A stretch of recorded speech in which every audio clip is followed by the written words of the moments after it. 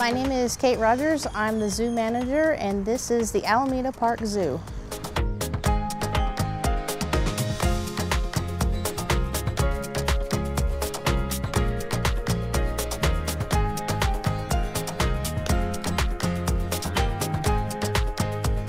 So the zoo actually started in 1898. It was a train stop and we had a, a duck pond area with some deer. Part of an area for the train to stop and let their passengers get off. And this was a big train depot area back then. And then slowly the zoo has grown into what it is today. Right now there's about 90 species and 175 animals. The original zoo was a duck pond and some deer. So it's way past tripled, I would guess. Right now, Alameda Park houses the addax. They are considered critically endangered. We have the Mexican gray wolves, and I believe that's it right now. So we're part of the Mexican gray wolf SSP program. So the SSP program is the species survival program put in place for critically endangered animals for zoos to help with the conservation project and get these animals numbers reestablished out in the wild. So actually the Mexican gray wolves, they are federally owned. So each year there's a, a group of facilities that put together a a yearly program of what wolves are moving to what facilities, what wolves are going to be bred, what wolves are being released, and then what wolves are going to be kept at holding facilities like Alameda Park Zoo. We're not really considered like a breeding program when it comes to the species survival programs. Ours is mainly for exhibit animals, for education.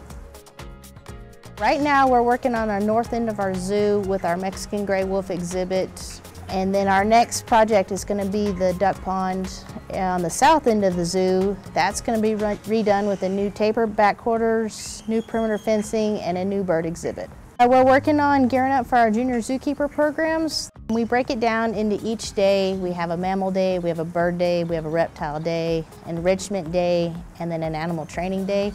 And those kids get to go along with the keepers and see really what it takes to take care of all these animals and they get to help build the enrichment, they get to help make diets, and then the last day of the camp, they get to go through with the keepers and watch the keepers hand out everything that they've made and prepared throughout the week to give to those animals.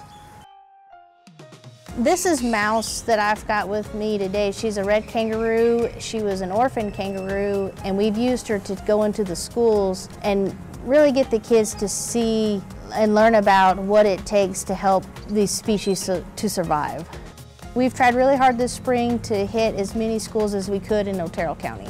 I bet our education coordinator has been to 15 schools within the county. And that is part of the zoo conservation effort, is educating the public on what it takes to keep these species going. The most that we do right now, we do have some keeper talks that are tied in with birthday parties. Right now, that was our starting point, and we're working on more consistent uh, education programs.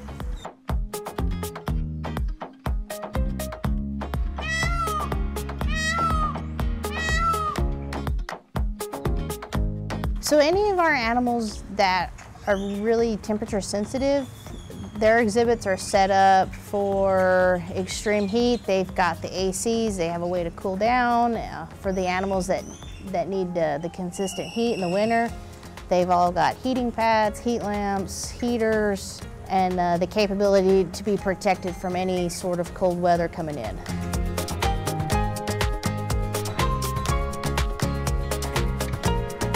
We're open 9 to 5 every day except for Christmas and New Year's, and last entry is 4.30.